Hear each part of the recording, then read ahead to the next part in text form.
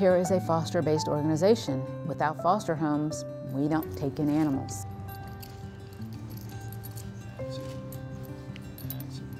A lot of people come to us to foster because they can't, for some reason, have a cat of their own. For instance, we have students who really are in flux in terms of their life, you know, goals or what they plan to do later.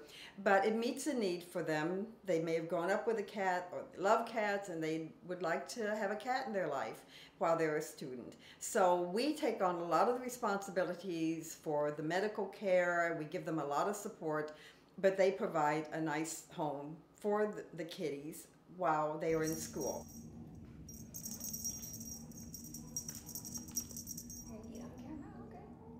We don't just find an animal a home. We try to make the best match possible for that animal. Once that animal is placed through our organization into a home, we also give continued support. In a foster based organization, we depend on getting out to events to showcase our dogs. Mean, let's face it, you, you go on Petfinder, there are what, 30,000 dogs posted on Petfinder looking for a new home.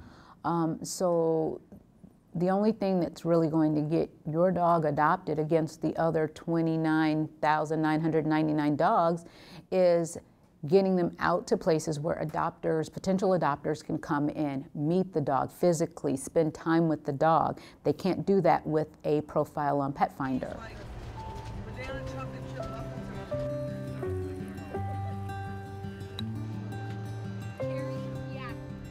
Today we are having our bake sale fundraiser. Every year the City of Evanston has a free booth for a volunteer organization or a nonprofit.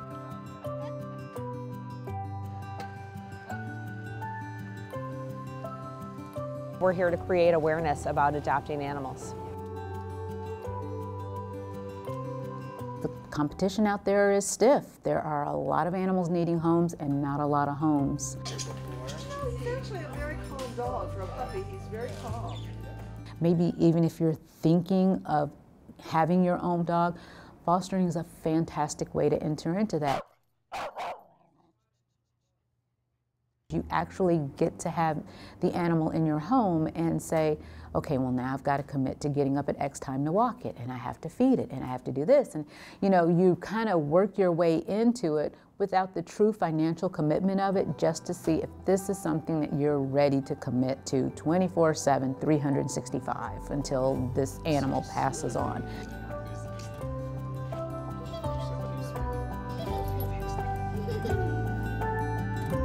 Organizations like CARE need your help.